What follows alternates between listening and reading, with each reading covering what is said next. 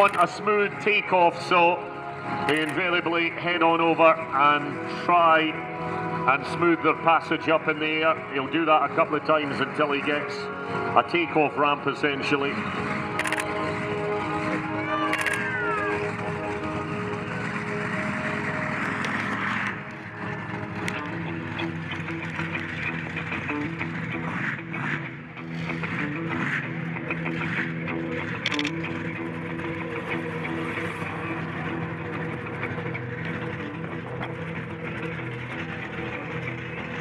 All right, had the countdown. Here we go.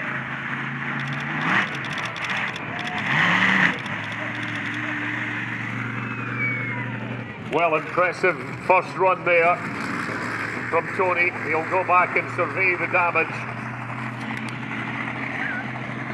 Having a good look at that. He must be happy with that one. Came down a wee bit on his left-hand side. Look and see if he can push them together a bit and get a smoother landing here.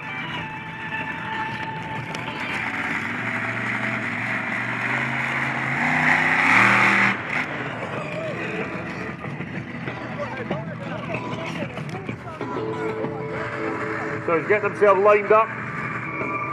And again, just going in, making sure that his takeoff area is secure.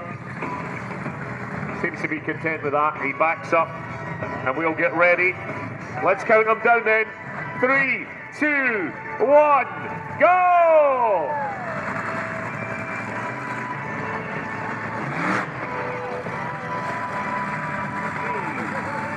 Nice solid landing there. He'll be pleased with that one.